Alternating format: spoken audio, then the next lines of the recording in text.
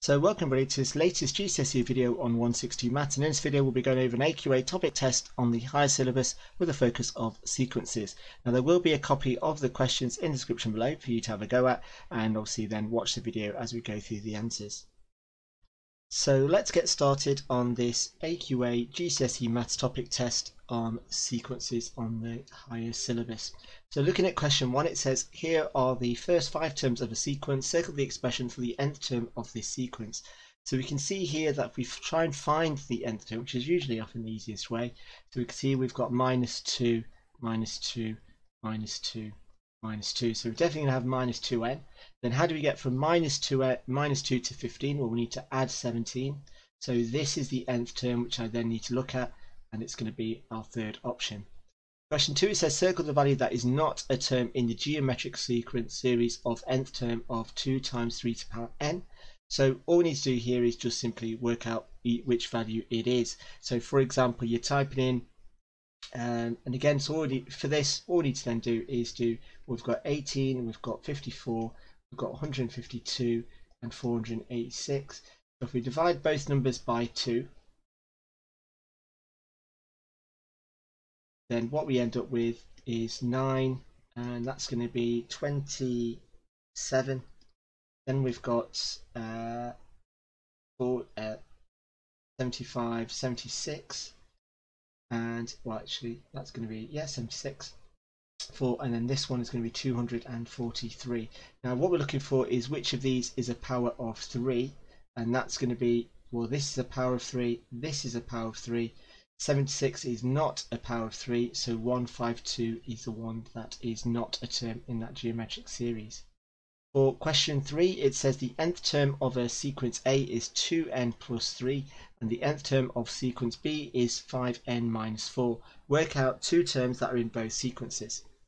Now in terms of 2n plus 3, well to work out the first term we just simply put our finger over n and we get 5 so that's the first term and then we add whatever the coefficient of n is going to be so it's going to be going up in twos so I've got 5, 7, 9, 11, 13 uh, 15, 17. So basically it's every odd number starting with 5. Then if I then do 5n minus 4, so again here what I've got is I've got 1 and the as my first term and then it's going to go up in 5. So I've got 6, 11, uh, 16, 21, 26, uh, 31, 36 and so on. Now in terms of this I can see that my first term is going to be 11 and then the next one is well that's going to be 19 21 so the next two terms so 11 and 21 so again there's a, obviously there's quite a few different combinations you can have for this but I would say anything along those lines would be absolutely fine. For question 4 it says the nth term of sequence P is an plus b and the nth term for sequence q is bn plus n bn plus a show that the sequence both start with the same letter. So basically they both start when n equals 1 so in terms of sequence p when n equals 1 I've got a times 1 plus b which simplifies to give me a plus b. And with q I'm going to end up with b times 1 plus a which is also a plus b. So you can see here that these are both the same. Now in terms of this it says that the second term in sequence p equals the third term in sequence q.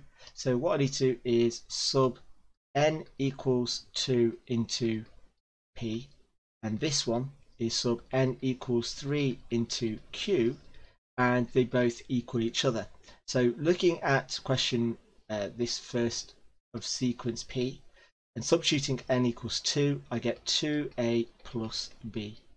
And then and that equals when I substitute 3 into this so it's going to be 3b plus a. And then as they're both equal to each other what I then need to do is simplify this. So here if I take the b over to this side and the a over to that side I'm left with a equals 2b which is what they've wanted me to show for question 5 it says the nth term of a sequence is 12 minus n all over n squared. Work out the first term of the sequence that is a reoccurring decimal. So for this, what I've got to do is substitute n equals 1. So I've got 12 take away 1 over 1 squared, which is 11 over 1, which is 11, not a recurring decimal, so that's not it. When n equals 2, I end up with 12 take away 10 over 4, which is, I don't know why I've put 10 there, it should be 2. So the answer is 10. Which I get 10 over 4, which is 2.5, which is not a recurring decimal. When n equals 3, I get 12 take away 3 over 9, so that's 9 over 9, which is 1. When n equals 4, I get uh, 12 take away 4 divided by 16, which gives me 8 over 16, which is 0.5. So still not there yet.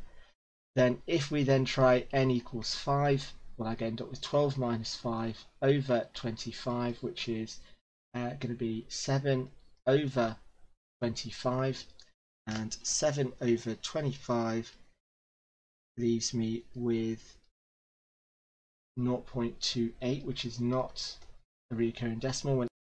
And so the next one I then do is n equals 6 in which I get 12 minus 6 over 36 which simplifies to be 6 over 36 which is 1 over 6 and there we have our winner because 1 over 6 is equal to 0.16 recurring. So looking at the question, it says work out the first term of the sequence that is a recurring decimal, and it's going to be our sixth term.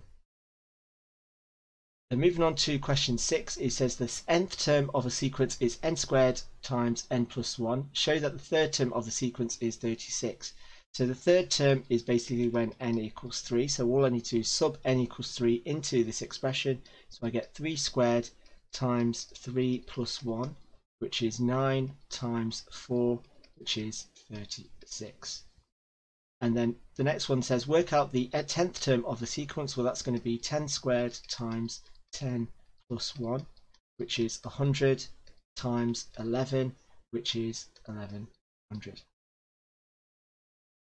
Moving on to question 6c, it says prove that all the terms in the sequence are even.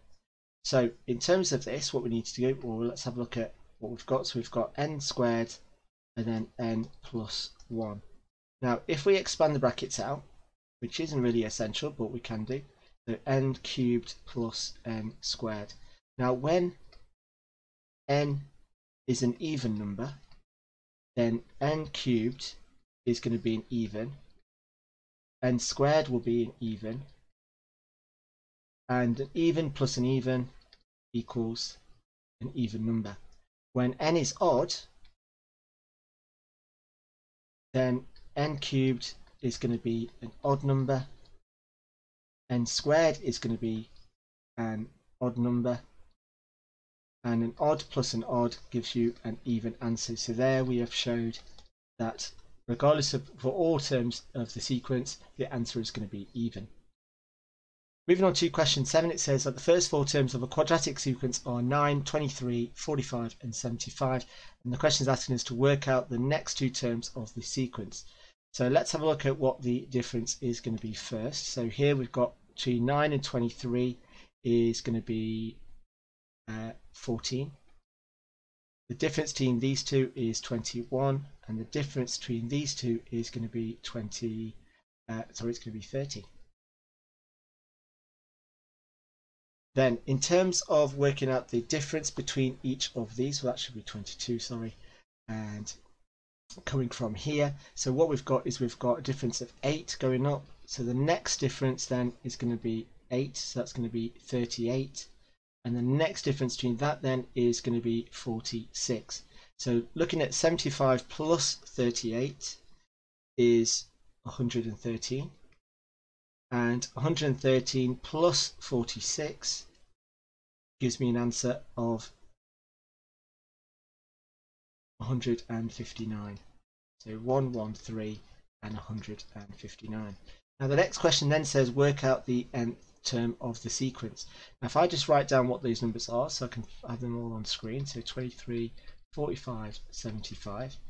And now I know that the double difference is 8, so that means 4n squared is going to be in the formula. So when n equals 1, 2, 3, 4, then 4n squared is going to be 4. Uh, 2 squared is 4 times 4 is going to give me 16. 3 times 3 is 9, times 4 is 36, 4 times uh, 64 that one's going to be, and then what I then need to do is work out the difference between this and this. So that's plus 5, that is plus 7, that is plus 9, and that is plus 11. Now what I then need to do is treat these differences as a different sequence. So here I've got 5, 7, 9, 11. So the nth term of this is going to be 2n plus 3. So all I then need to do is then combine these two equations together, or these two uh, sections together, in which I've got 4n squared plus 2n plus 3, and there is my nth term sequence. And that concludes the end of this topic test.